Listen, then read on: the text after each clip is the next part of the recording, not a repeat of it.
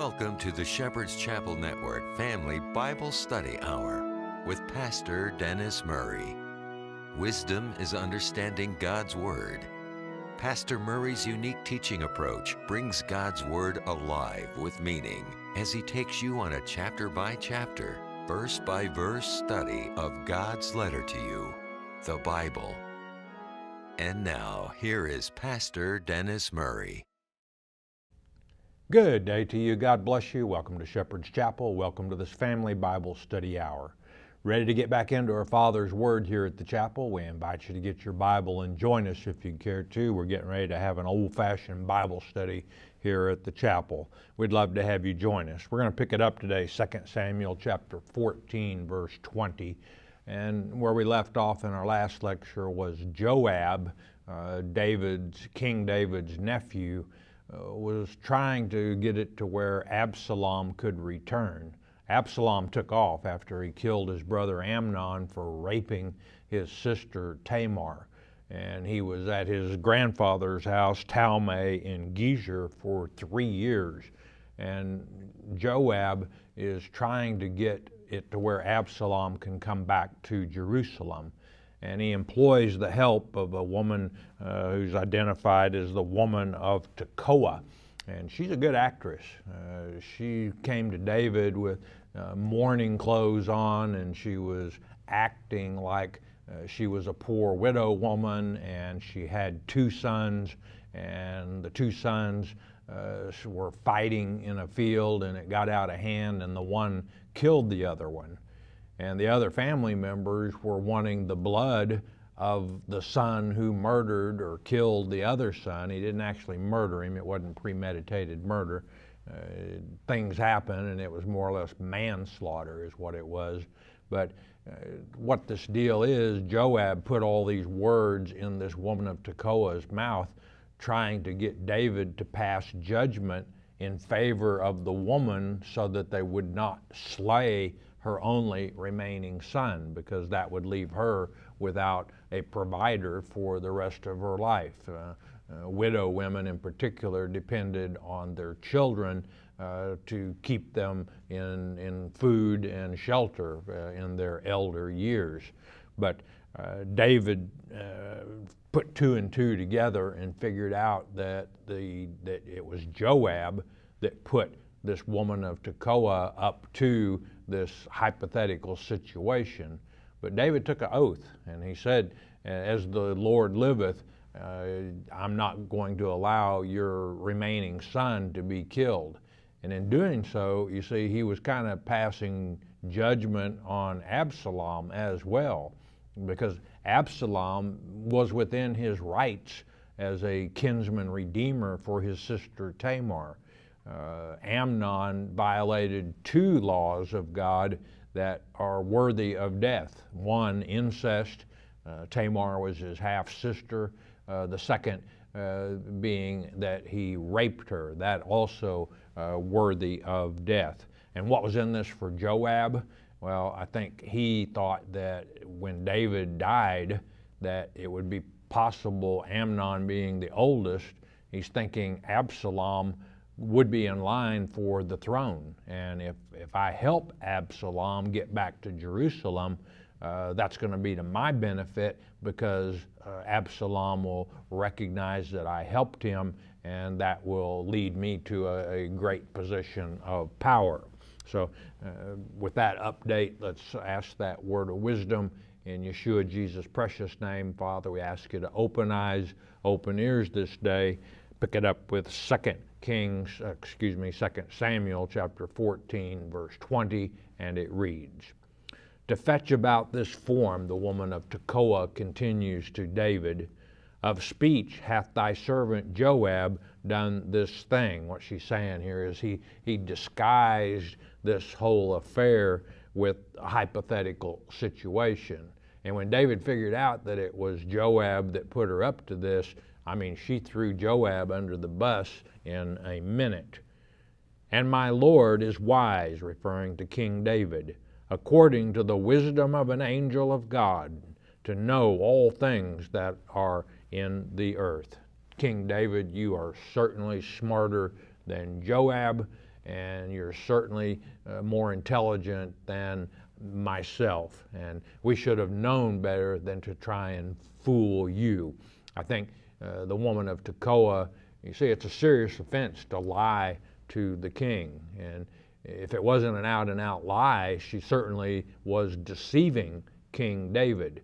And I'm thinking she's probably uh, of the mind, I better flatter King David with words and then get out of here. Verse 21 And the king said unto Joab, Behold, now I have done this thing. Go therefore, bring the young man Absalom again. Joab is getting his way. Uh, David uh, is starting to lose trust in Joab. He's, he's starting to question Joab's loyalty. Uh, and remember, Joab murdered Abner, uh, Saul's general.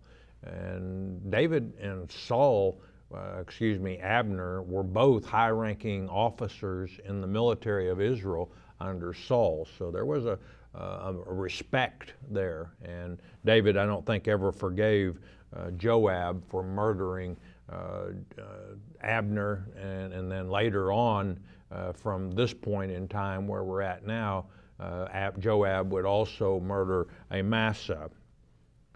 Verse 22. And Joab fell to the ground on his face and bowed himself and thanked the king. And Joab said, Today thy servant knoweth that I have found grace in thy sight, my lord, O king, in that the king hath fulfilled the request of his servant by allowing Absalom to come home. And Absalom is kind of skating on thin ice with David at this point. David knows that, it, and he, he figured it out himself, that Joab had put this woman of Tekoa up to this uh, hypothetical situation which caused David to pass judgment in the woman's favor, and in so doing, uh, he also uh, had to rule in favor of Absalom coming back uh, to Jerusalem. So Joab arose and went to Geshur, and this is to uh, Absalom's grandfather's uh, place uh, in Syria, Talmai being his name, and brought Absalom to Jerusalem. Joab and uh, Absalom are also first cousins uh, in that Joab is the son of David's sister Zeruiah, uh, Absalom, of course, being the son of David. Verse 24 And the king, this being David, said, Let him turn to his own house, and let him not see my face. So Absalom returned to his own house and saw not the king's face. And I made the comment in verse 1 of chapter 14 that the king's heart, David's heart, was toward Absalom. And that should have been translated the king's heart was against Absalom. And we see that he's still against Absalom and that he doesn't want to even see his son. He's, you tell him to stay in his apartment and, and not come in my presence. Verse 25. But in all Israel there was none to be so much praised as Absalom for his beauty. From the sole of his foot even to the crown of his head there was no blemish in him. The name Absalom means uh, father of uh, peace, uh, that is to say, friendly. Uh, so he, he, he not only was friendly, with the people, as we'll see when we get to chapter 15. He was a good looking rascal as well. Verse 26. And when he polled his head, this means when he cut or shaved his hair, for it was at every year's end that he polled it, because the hair was heavy on him, therefore he polled it. He weighed the hair of his head at 200 shekels after the king's weight. Every year just as they sheared the sheep annually, uh, Absalom would get his hair cut annually. And this uh, 200 shekels after the king's weight is just a little less than four pounds of hair. So he, he grew quite a, mane of hair over uh, the course of a year. It's a bit ironic, too, and when we get to chapter 18, we'll see that that uh, hair will lead to his death. It, it contributes to his death. 27. And unto Absalom there were born three sons and one daughter, whose name was Tamar. She was a woman of fair countenance. Good looking uh, family was Absalom and his sister Tamar and his daughter Tamar. Note that he named his uh, daughter after his sister who was raped uh, by and shamed by Amnon. Tamar, if you translate it, means palm tree. Now, this is very unusual in, in God's Word that it would state that Absalom were born three sons, but doesn't name the sons. Uh, when we get to chapter 18, verse 18, uh, it states there that Absalom had no sons, and therefore he built a pillar uh, so that his name would not be cut off from remembrance. So, evidently, these three sons of Absalom died uh, before they were able to have any children. Uh, no children, no genealogy. Verse 28 So Absalom dwelt two full years in Jerusalem and saw not the king's face. Three years at his grandfather Talmai and Geshur uh, was he separated from David. Now, two years he's been back in Jerusalem, still not allowed to see his father. That's five years that he has not been allowed to be in the presence of his father, King David. 29. Therefore Absalom said for jo- sent, I should say, for Joab to have sent him to the king. In other words, here he's going to Uh, seek Joab's help in convincing the king to allow Absalom to come into the king's presence. And he would not come to him. And when he sent again the second time, he would not come. Again, Joab knows he's kind of thin, skating on thin ice with David. And he suspects that Absalom wants a favor of him, and he knows that's not going to sit well with King David. Will uh, Absalom just let it go since Joab twice refused to come to him? Let's find out.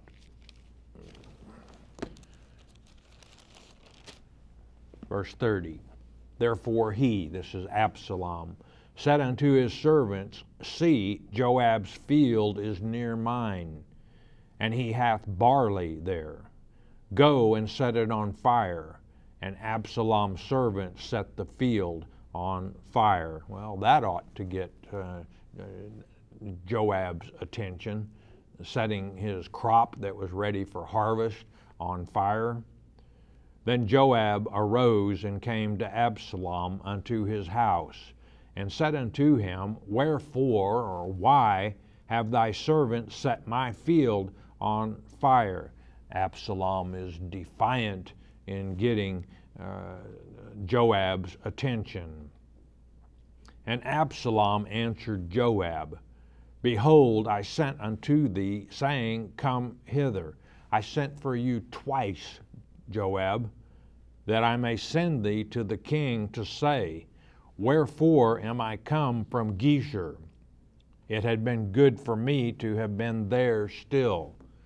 Now, therefore, let me see the king's face, and if there be any iniquity in me, let him kill me. Let's get to uh, this, the suspense past us. Let, us get this over with, is what Absalom is saying. It, it would have been better for me to remain at my grandparents' uh, Talmai in Geshur. This half forgiveness from my father David is worse than no forgiveness at all, is what he's saying. But there was no iniquity in Absalom at this point in time. Well, there might have been iniquity in him, but he could not be held accountable for killing Amnon, and that he was within his rights under God's law of the kinsman redeemer in uh, avenging the rape of Tamar by killing Amnon. 33. So Joab came to the king and told him. And when he had called for Absalom, he came to the king and bowed himself on his face to the ground before the king. And the king kissed Absalom, a sign that uh, favor has been restored. I notice nothing is said about Joab uh, wanting uh, redemption or repayment for his crop of barley. It's kind of like he just, why did you set my field of barley on fire, Joab? And he told him, and he just kind of let it go. So I guess he was okay with that. But um, remember, too, that Joab knows what David did to Uriah the Hittite. So I think that's another reason that Joab Uh, was a little cautious when he realized he was skating on thin ice with David. You see, very few people knew what David had done to Uriah the Hittite. God looked upon that as murder, as we studied in chapter 12 of this book of 2 Samuel. Now, if David had killed Joab, his secret would have gone to the grave with Joab. So I think Joab being a little cautious, uh, knowing that he holds some secrets that David would just as soon be in the grave. David loved Absalom, but he had taken his own brother's life. So even though biblical law supports what Absalom did, David had a difficult time forgiving Absalom, but he did. Chapter 15, uh, we come to Absalom's rebellion. Now, I, I don't know if possibly uh, some ill, ill feelings were born uh, in Absalom because of the length of time that his father basically ignored him. Uh, three years in Geshur, uh, two years in Jerusalem, and David wouldn't see him. And uh, that could cause some, some hard feelings from Absalom's part. And as a result of that, in chapter 15, we're going to see Absalom's rebellion against David. It almost cost David his life. Chapter 15, verse 1. And it came to pass after this that Absalom prepared, prepared him chariots and horses and 50 men to run before him. Here he's showing off all the pomp and circumstance of the king being moved from place to place in Jerusalem. What this is saying is he would get his chariot with his horses, and then he hired 50 men to run before him. Make way, make way for the prince Absalom. Uh, make way, he's going to the post office or the library. Uh, his brother, younger brother, Adonijah, Adonijah, would pull the same stunt when he was trying to usurp the throne from uh, the one God selected to be the king after David, that being Solomon. Verse 2. He had quite an ego thing going here. And Absalom rose up early and stood beside the way of the gate. The gate of the city was the place of judgment. And it was so that when any man that had a controversy came to the king for judgment, then Absalom called unto him and said, Of what city art thou? And he said, Thy servant is one of the tribes of Israel. I'm from the tribe of Dan. So, what he's doing is he's setting himself up to be the judge. Uh, he's a false judge, and he's also going to be a false king. We see a, uh, a type of Antichrist written all over Absalom. He's going to try and take the throne from the rightful king, King David, God's anointed. Notice this too of what city art thou? If you, uh, we live in a very rural area here in, in Arkansas. And I've noticed when I go to a large city, you want to be careful of anybody that walks up to you and says, Where are you from? I guarantee you they are either a con artist or a salesman or sales lady, as the case may be. When someone walks up to you, a stranger on, on the streets of New York City, and says, Where are you from? My advice to you would be to tuck your head and just keep on walking. Verse 3 And Absalom said unto him, See, thy matters are good and right. This is to the man who was from Dan, who came for judgment in a matter. But there is no man deputed or appointed of the king to hear thee. That King David is not doing his job. He should either hear your cause or he should appoint someone to be here in the gate to be the judge of your case. Verse 4 And Absalom said, Moreover, Oh, that I were made judge in the land, that every man which hath any suit or cause might come unto me, and I would do him justice. Boy, is he puffed up and on an ego trip. What he's saying is, it's too bad for you that I'm not the king of Israel. Because if I were the king, the judge, uh, I would certainly judge in your favor. The only problem of that is that if you are a judge and you are deciding between two parties that are in dispute, you're not going to please both of them. One of them is going to be pleased, but you cannot please both of them. Being a judge is uh, sometimes a very difficult position. Um, sometimes you have to make decisions that are not all that popular, but you don't have to, you don't, you should not worry about making a popular decision if you're a judge. You should de- be determined to make a decision based on what's right and what's wrong. But you see what he's doing, Absalom is casting suspicion uh, upon David by the people. That King David, he's not doing his job. He should have somebody down here to hear your cause. Verse 5 And it was so that when any man came nigh to him to do him obedience, to bow down before royalty, he is a prince, he put forth his hand and took him and kissed him. I mean, he is a good old boy. And what he would be saying is to these folks, well, now you go back to Dan, and I want you to tell everybody what a great guy Absalom is and I also want you to go back and tell him that King David is not doing his job.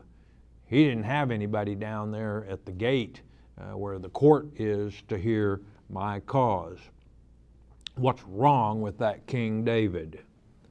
Verse 6 And on this manner did Absalom to all Israel that came to the king for judgment. So Absalom stole the hearts of the men of Israel to bring them over to his side uh, using strategy, and he did it quite secretly as well.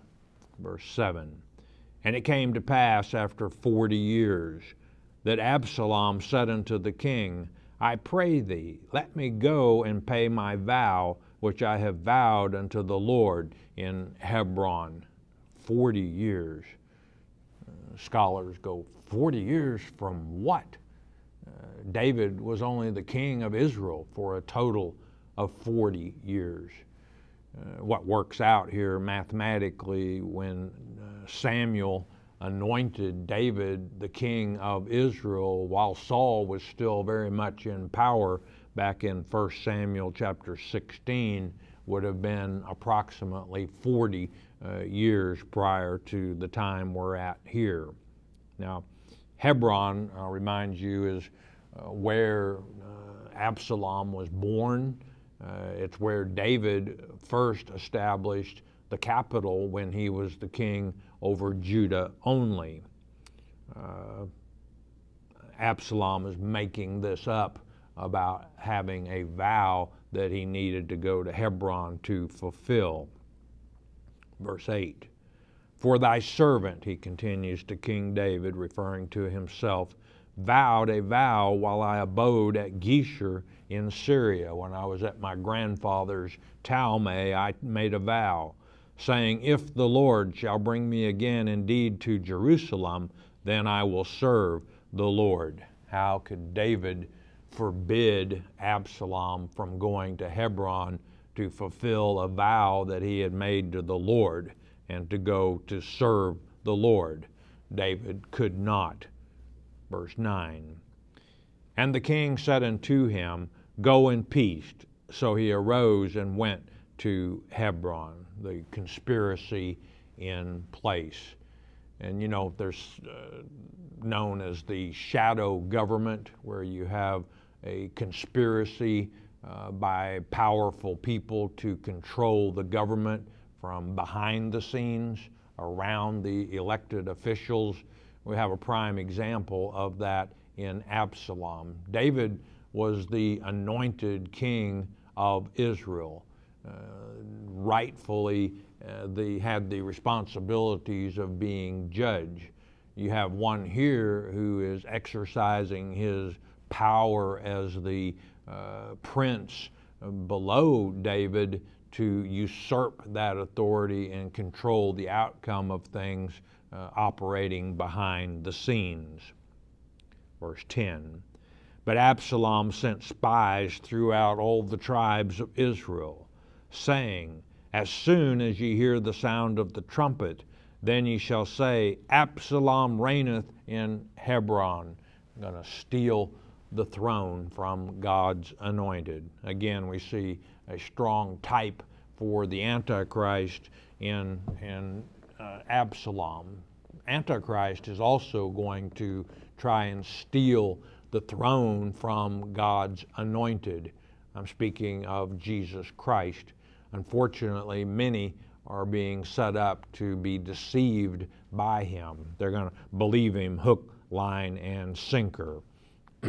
Verse 11. And with Absalom went 200 men out of Jerusalem that were called. In other words, they were invited to uh, like a sacrificial meal. And they went in their simplicity. They, they went innocent. They, they didn't realize that Absalom was trying to steal the throne from King David. And they knew not anything the conspiracy uh, was kept in secret. Verse 12 And Absalom sent for Ahithophel the Gilonite, David's counselor, from his city, even from Gilo, while he offered sacrifices, and the conspiracy was strong, for the people increased continually with Absalom. Folks uh, liked his false promises his lies concerning, uh, just like the Antichrist when he returns. He's going to be uh, lying to the people as well. He's going to come in peacefully and prosperously. He's going to promise people anything, uh, only one catch. You have to worship him. Uh, Absalom's only one little catch. Uh, you have to put me in the role of king. Now, Ahithophel was a very trusted advisor to David. He was a high ranking officer in David's cabinet. So the fact that he is betraying David and siding with Absalom points to how uh, totally the nation was turned from David to Absalom. Verse 13. And there came a messenger to David saying, The hearts of the men of Israel are after Absalom. Psalm 41 and Psalm 55 uh, both uh, are writings of David concerning this particular time in his life. The, the sorrow that he felt at the rebellion, not only of his son Absalom, but the betrayal uh, of David by his close friends and counselors, such as Ahithophel. And David said unto all his servants that were with him at Jerusalem, Arise and let us flee, for we will, shall not escape from Absalom. Make speed to depart, lest he overtake us suddenly, and bring evil upon us, and smite the city with the edge of the sword. Running was not David's style. Uh, from the time he was 16 years old, uh, you remember we had that giant, the champion of Gath, Goliath. Did David run from Goliath? No, he ran toward Goliath. David wasn't afraid of anything. And there are two thoughts as to why David fled Jerusalem. Uh, I think first he didn't want to have a civil war where there would be blood shed on the streets of Jerusalem. Uh, the second thing is, I think David is buying some time. You see, if his trusted advisor Ahithophel had gone over into Absalom's camp, who else has gone over into Absalom's camp? Who, who can I trust uh, and who can I not trust? I need a little time to sort all that out. Verse 15 And the king's servant said unto the king, Behold, thy servants are ready to do whatsoever my lord the king shall appoint. We're, we're willing to fight, we're willing to stand with you and fight against Absalom and his, or if you think it's best that we flee Jerusalem, that's what we'll do. Verse 16. And the king went forth, and all his household after him. And the king left ten women, which were concubines, to keep the house. These ten concubines, uh, prophecy fulfilled. Uh, you recall in 2 Samuel chapter 12, verse 11, uh, the, God said, The sword will never part from your house through the prophet Nathan. He also said, Evil will come upon your house and your wives, which concubines certainly fall into that category, uh, are going to be taken under the sun, meaning you, David, took Bathsheba in secret, in hiding, but uh, the Lord gave ten, uh, these ten concubines to be taken under the sun by a stranger, by Absalom to be exact. Uh, in other words, under the sun, so that everyone would know it. Well, it's not looking good for David and the few, uh, evidently few supporters that he still has. So don't miss the next lecture. We'll see how this situation turns out with Absalom's rebellion. We got a short message. We'll ask you to listen a moment, won't you please? The book of James. James is a book that I know you'll enjoy because it is written when you rightly divide it to those that are scattered abroad. That's to say, the 12 tribes, the 10 tribes scattered abroad, being very specific in your freedom of Christianity, the repentance, uh, giving much personal instruction as far as controlling our thoughts and finding peace and giving us those parameters wherein Christianity uh, defining those things that come from the Word of God. Example that uh, bitter and sweet water cannot come from the same spring. Well, from God's Word, you should not have both either. The practice of healing brought forth in this book of James. I know you're going to like it. James, that great book of instruction. Welcome back. We're glad you could join back with us. Let's have the 800 number, please. 800 643 4645. That number good throughout Puerto Rico, the U.S., and Canada. If you have a biblical question that you'd like to pose to be answered on the air, feel free to call that number and leave your question. We do ask that you not ask questions about a specific individual, denomination, or organization by name uh, we try to teach God's Word in a positive manner. Throwing out negative about others by name serves no purpose. We simply won't do it. We'll let God's Word do the teaching, the correcting, and the healing. Uh, please keep your questions of a biblical nature as well. And also, while we're at it, let me mention don't ask for a written response to your questions. We simply don't have the time or staff to provide a written response to everyone that would like to have one. And if we don't have it time, time to do it for all, we will do it for none. If you're studying via the internet somewhere around the world and unable to use that 800 number to leave a question, your announcer at the end of the hour will give you our mailing address. Quite all right to mail your questions in. Got a prayer request? We can do away with the telephone number. You don't need a telephone. You don't need a mailing address. Talk to your Heavenly Father. You know, He's there for you 24 7. I don't care what you're doing, you can pray and talk to Him. Uh, you don't have to go through any fancy rigmarole and get down beside your bed on your knees and close your eyes and clasp your hands together. You can talk to your Heavenly Father when you're driving down uh, the highway. So uh, talk to your Father. It, it makes His day when you have time for Him. There's a lot of His children that don't make time for Him, I promise you.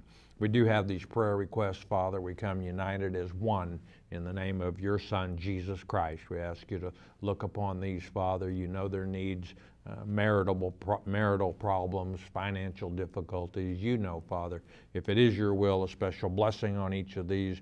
Watch over, guide, direct, touch, heal. We also lift up our military troops who are in harm's way around the world. Watch over and bring our troops safely home in Jesus' precious name. Amen and thank you, Father. Let's get to some questions. And we have Anonymous. If a person drinks a lot, but he still believes in Jesus, will he go to heaven? Yeah, he can drink all the water he wants. No, I'm kidding. Uh, drinking alcohol, and I know that's what you're talking about, whoever you are, in, in excess is not healthy. Um, but it alone would not prevent someone from going to heaven. And the reason I say it alone, that sometimes alcohol causes people to do things that are against the law. And uh, it, it, can make people do crazy things. Uh, uh, so uh, that's what I meant by it alone would not cause you. It, it could also, alcohol could also get in the way of you having a relationship with your Heavenly Father. If you stay drunk all the time, uh, you're certainly not going to spend any significant amount of time worshiping the Lord. Louise from Alabama, thank you for teaching God's Word in easy understanding manner. You're welcome.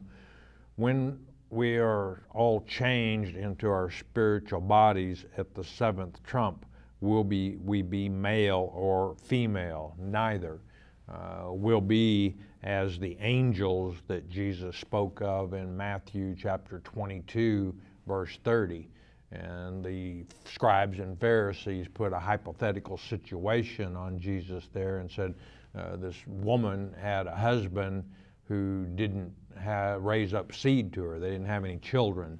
And her husband died, and his brother married her. He didn't raise up seeds. All in all, seven brothers married this woman, and did not. And none of them raised up children. And they asked in the resurrection, in other words, after the flesh life, who, which one is she going to be married to? And Jesus said, You err in your thinking and you don't understand the power of God. For uh, in the resurrection after the flesh life, in other words, they neither give or take in marriage, but are as the angels.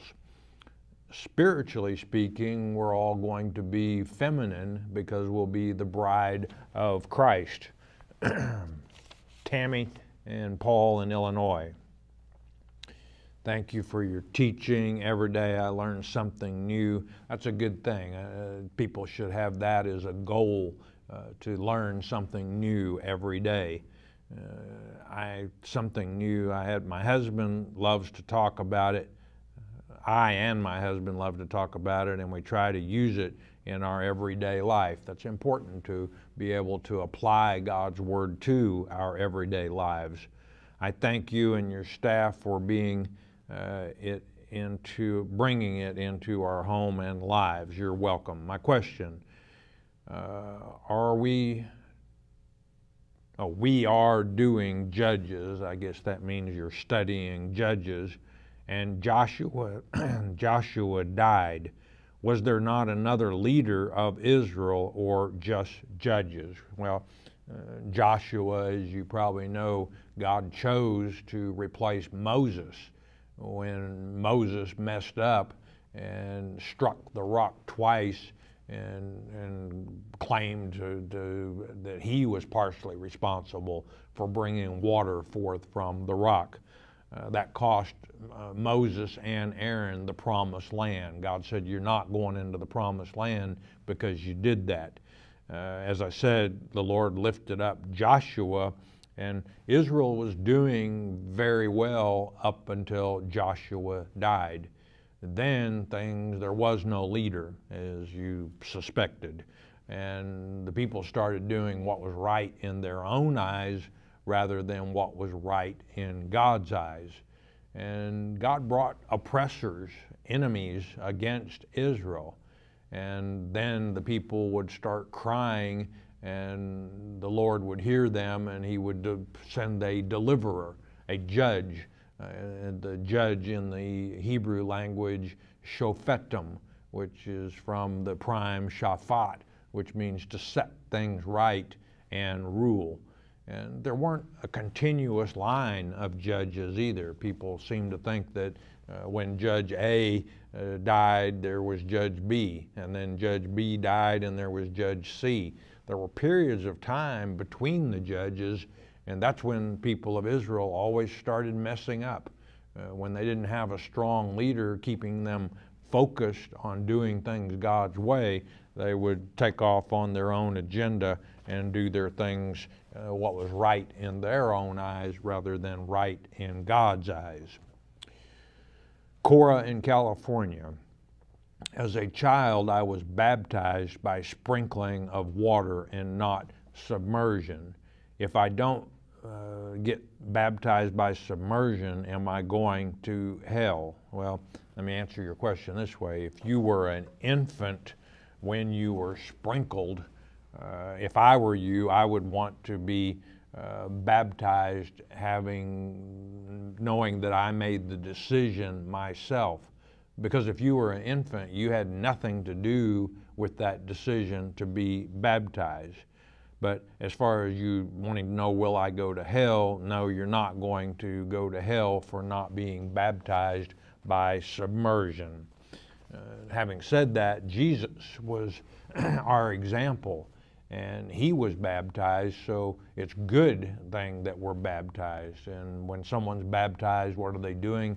They're stating their belief that Jesus Christ was born in the flesh, uh, was crucified on the cross for our sins, went into that tomb, and praise God, three and a half days later, he resurrected. The baptism being symbolic of the death, burial, and resurrection when you come up out of the water, uh, the resurrection of Jesus Christ.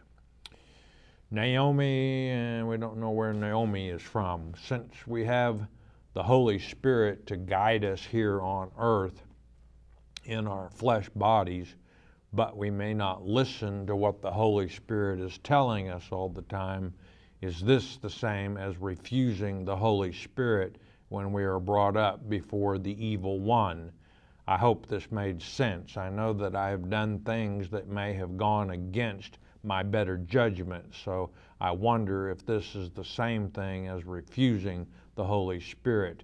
I just want to see what your opinion is on this question. Well, the answer to your question is is no.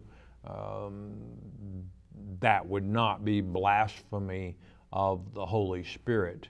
Uh, you kind of answered the question yourself. It's, it's when you're delivered up to the before the evil one, before the Antichrist, and if you should, if you're one of God's election, and you should refuse the Holy Spirit that's unforgivable. And but anything that you have done, Naomi, in your life is forgivable up to this point. It's not possible that anyone has committed the unforgivable sin at this time. Ellen in Illinois, do angels have wings? And the answer to that is no, angels don't have wings. Genesis chapter 1, verses 26 and 27. The Lord says there, Let us make man in our image. Who was he talking to? He was talking to the angels.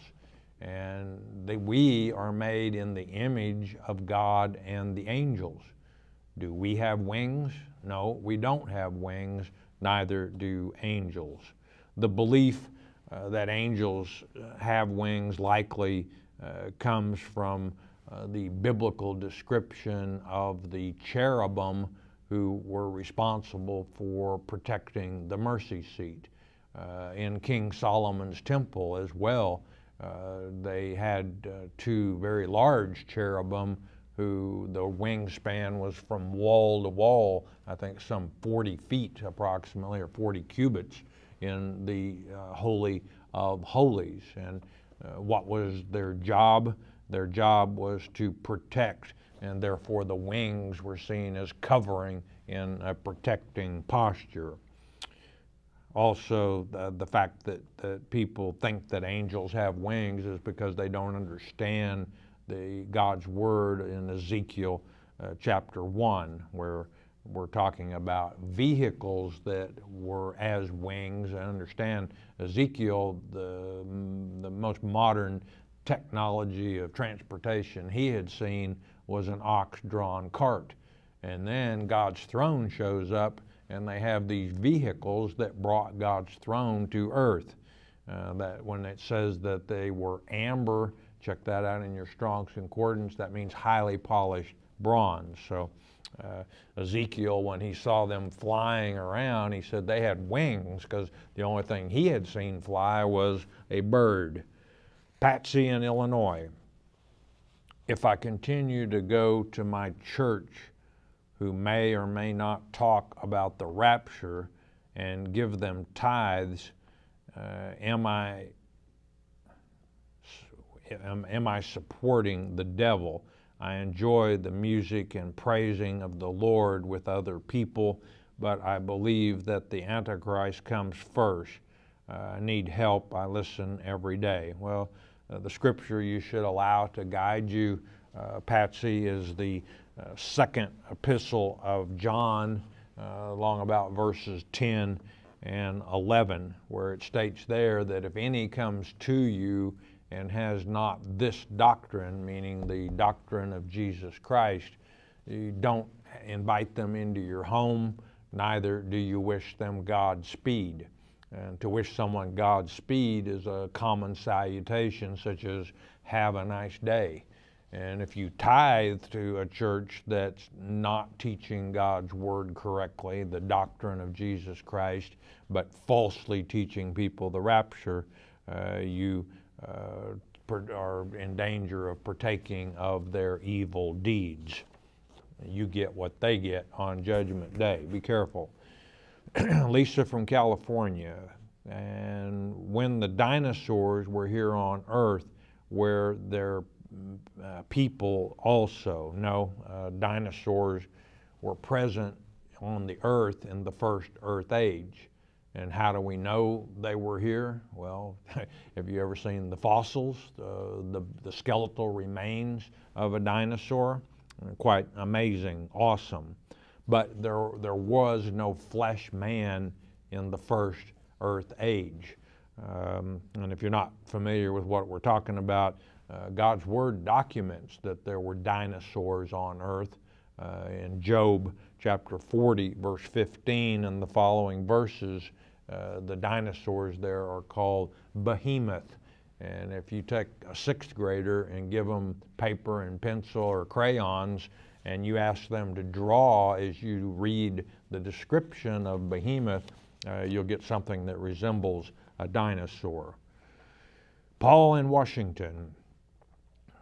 My question concerning the rebuilding of the temple in Jerusalem they have discovered the remains of a temple in the city of David, just south of the Temple Mount, uh, near the Gihon Spring. And you give some scripture. Considering the political implications of building on the Temple Mount, seems it would be easier to build in the city of David. I wonder if that could be God's plan all along. Thought I should check with you. Your thoughts, sir. Okay, well, those who are awaiting uh, a temple to be rebuilt or a red heifer to be born Uh, are likely going to be deceived. The temple that Jesus said he could rebuild in three days if they tore it down was his body when he resurrected from the tomb. And we, being a member of his body, the many membered body of Jesus Christ, are part of that temple as well. John in North Carolina uh, my question is Was Satan a serpent or a man when God said Genesis 3.15? Genesis 3.15, the first uh, prophecy in God's Word. And Satan never was a man, in, as we would think of it, in the flesh. He was in his role as the serpent in the garden, and he was able to impregnate Eve which is obvious by Genesis chapter 3, verse 16, when he tells Eve, I'm going to greatly multiply thy conception. Uh, she had conceived, and she had conceived uh, her the, the first child she gave birth to, Cain. Faith in Minnesota. Um, why does Jesus tell his disciples to be wise as serpents and harmless as doves in Matthew chapter 10, verse 16. Be wise as the serpent, in other words, be wise as Satan, but uh, and a dove are known for being innocent. Uh, protect your credibility. Doves are also um, symbolic of the Holy Spirit in the New Testament. When Jesus was baptized, uh, doves descended and uh, landed upon him. And uh, then that voice came from heaven This is my uh, beloved Son, in whom I am well pleased. Uh, also, can you explain Mark chapter 9, verses 38 through 40? And there, John said to Jesus, uh, We saw someone casting out devils in your name. And we told them to stop it. And Jesus said unto them, uh, forbid him not. And then he goes on to say in verse 40, For he that is not against us is on our part. In other words, as part of the many membered body of Jesus Christ. The disciples were trying to create a monopoly, if you will, on Jesus Christ. That wasn't the reason Jesus came to earth. The disciples were to spread the good news, not hoard the good news. Steve from Florida, when Satan is cast to earth playing Jesus, will he accuse the two olive branches of being the false prophet and the Antichrist? Well, that's possible. Uh, Satan is known, one of his names is the accuser. Uh, but we will know who the two witnesses are if you're one of God's elect in particular. Uh, Zechariah chapter 4 uh, we learned there that the two witnesses, uh, the two anointed ones, the sons of oil, uh, the two witnesses, the olive branches, will be feeding uh, the 7,000 God's elect with oil. Uh, truth, in other words. Dorothea from Tennessee. Does it mean when the Bible says the dead in Christ shall rise first, uh, does this mean the people who are already dead? Their spirit goes back to their bodies in the grave, and the grave will open and they will come out. Is that what this means? No, that's not what that means. The scripture you're talking about is 1 Thessalonians chapter 4, verse 16. And it states there, For the Lord himself shall descend from heaven. Uh, he's coming here. Why would Christians want to fly away in the rapture? And then in verse 13, uh, where the verse 13 tells us what the subject of 1 Thessalonians 4 is, which is where are the dead.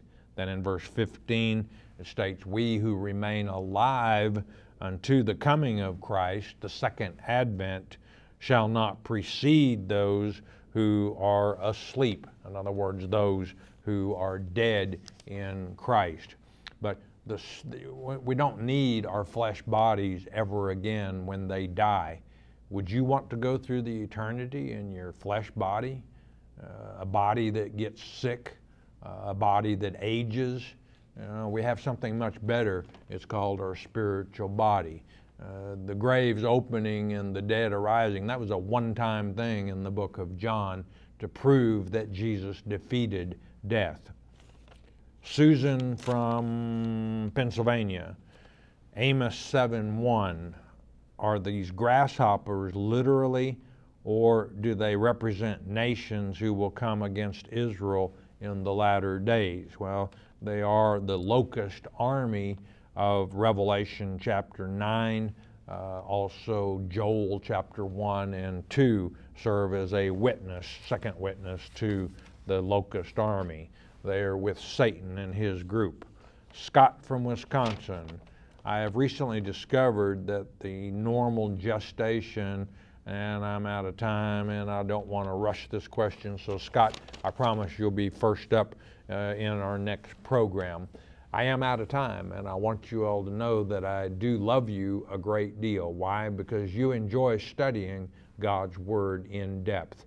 Uh, you don't just scratch the surface, you like to plow deep and understand God's Word. God loves you for that. And when He looks down and He sees you reading the letter He wrote to you, the Bible, it makes His day. We are brought to you by your tithes and offerings. If we've helped you, won't you help us keep coming to you and to reach out to others as well? There's one thing that's most important, though, and it's this you stay in His Word every day. Every day in your Father's Word is a good day, even with trouble. Do you know why? It's Jesus is the living Word. Hearing God's Word with understanding will change your life. We hope you have enjoyed studying God's Word here on the Shepherd's Chapel Family Bible Study Hour with Pastor Dennis Murray. If you would like to receive more information concerning Shepherd's Chapel, you may request our free introductory offer.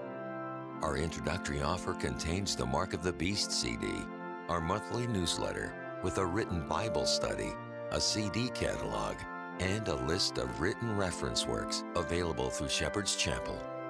To request our free introductory offer by telephone, call 800 643 4645 24 hours a day.